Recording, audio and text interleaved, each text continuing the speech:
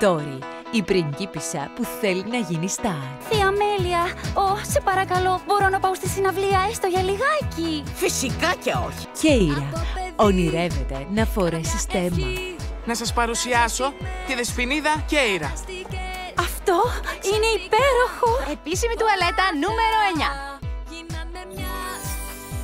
Μπάρμπι, η πριγκίπισσα και η pop star. Σάββατο στις 9 και 10 το βράδυ.